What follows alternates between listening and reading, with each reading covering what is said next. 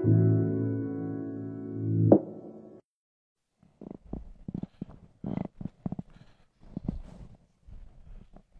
what's going on, man? This is Dr. Rhadi Ferguson, along with my son, Rufus Ferguson.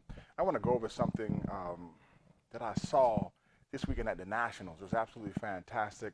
The, the, the grip fighting, the Newaza development, the things that I saw going on in the, um, in the United States in terms of judo. I want to go over something that I saw in a couple of matches, and mainly the match between David Terrell and Christopher Velasco. Let me just say this: Christopher Velasco won the national championships. Absolutely fantastic. Um, as a matter of fact, there has been some times when uh, my son Rufus went down to train with Kitsu Sai and mom Velasco, who um, who I used to train with uh, when I used to compete, and um, you can attest that Christopher is pretty good. Huh?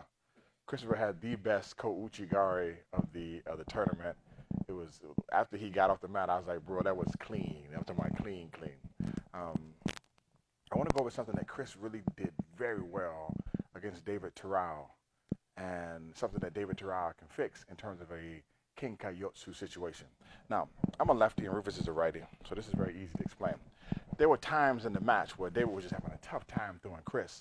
So what he did was he tried to cross grip to feed his lapel hand. So he cross grip here, and as soon as he cross grip, Christopher would come over top.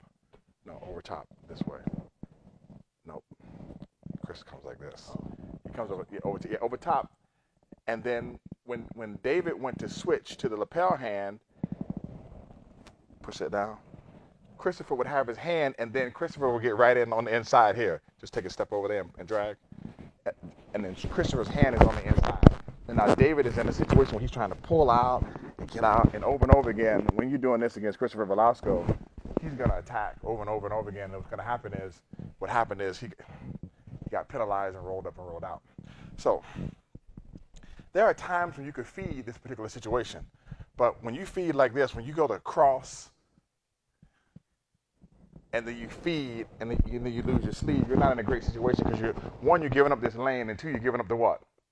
Sleeve. So, Rufus, how should David, if he wanted to cross, how should he cross with his hand?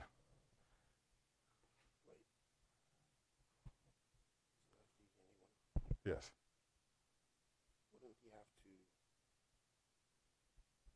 No, he could do that, but if he crosses, he needs to cross with his elbow what? So when he crosses with his hand down, Chris can come over top. Now go back. Now I even talked to David about what he said. Usually I can I can re-loop my hand. I said right.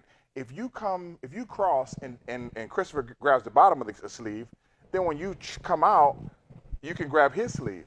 But if you cross the low and he grabs the top, when you go, he, he's pushing your hand down. You can't rewrap because he's following your arm when you try to react rewrap. So, what you have to do, and we'll go over the, a couple of stuff. What you have to do is you have to feed high. Now, if I feed high, now it's very difficult for Christopher to get his hand up top. And if he does, what I can do is I can do what? I can drop what? I can drop down as I move what? Out. Now, if you look, now, the way my hand is positioned, if I drop down and move out, now I can grab the top of Rufus's gi, and I'm in great position. I'll show you again from this side. I cross, coming up. Rufus, not Rufus doesn't have the same angle because in order for him to, to, to go over top, he has to move his right. It's, it's almost impossible because it's going to be happening so fast. I'm going to come up and I'm going to drop what? Down, and I'm going to be what? Out. So I'm, I'll come up, boom, drop down, boom, and I'm out. And I'm here. And, and because of the movement, you can't come inside on that lane. Now, here's what David was doing. Once again, David was doing this.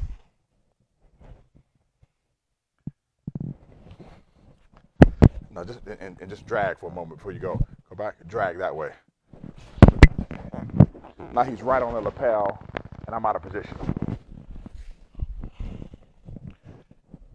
here is exactly how it should be taught. Rufus would tell you the first thing that David should have done is beat the what? Beat the front side hand first, which means the front side hand for Rufus is my left hand. So Rufus comes out, keeps the distance, he beats the side hand. Now, if I move out, then Rufus can then he can then cross. Mm-mm. He's not crossing that way. He's crossing as a lefty. He's crossing with this hand. Right, you'll step out and cross. I pull it, he steps out and crosses, now eh, elbow high. Then when I go, yeah, elbow high, and then when I go to grab this, Rufus pulls it what? Down, changes to the lapel, and then he's on the sleeve. That is the gripping sequence that you need to have if you're going to choose to cross. Number one is I'm up. I keep the distance first.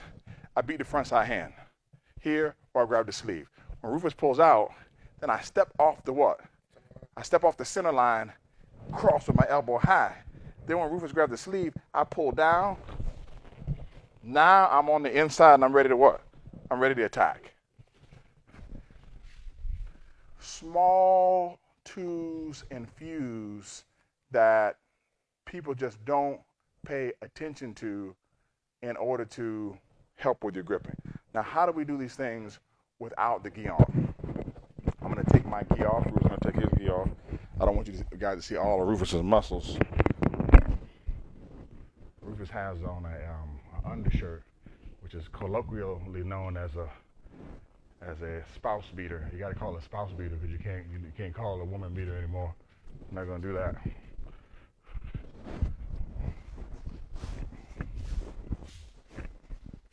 So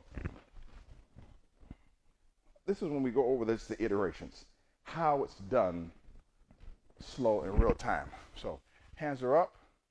This is how we practice. So I need to step on it. So.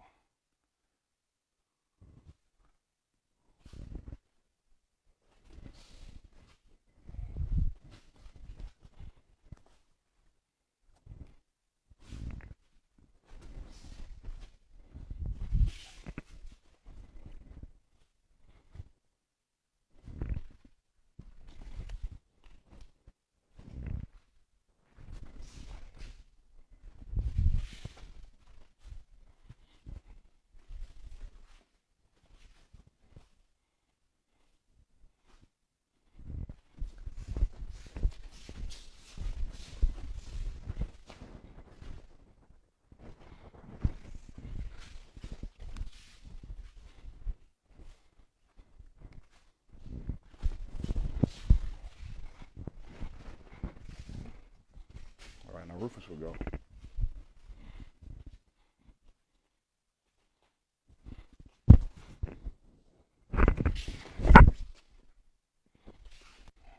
It's not your grip sequence. okay, so lefty versus righty. This is what Rufus does. Rufus goes where? And he kills his sleeve, which is stop, which is the number one thing that I would have told David to do in the chair. I'd have told him to first and foremost kill the what? Kill the front side hand. And when you kill the front side hand, then you can put your hand wherever you want to go. So even if Rufus posts on this side, doesn't matter. First kill the front side hand. Now cross. Now you can cross. Now if you cross, he's going to step out and pull me towards the what? The normal. So step out. Boom. And then he can change hands. And then he can go to the sleeve. First and foremost, kill the front side hand. If you want to cross, cross, step off the what? Pull the person toward the what? Change hands, go to the what? And then begin your what? Very, very simple. Thank you so much, ma'am. Please remember to visit www.gripfighting.com. Have a super fantastic day. Remember, I love you, but God loves you best. Hey, I remember when it used to be short.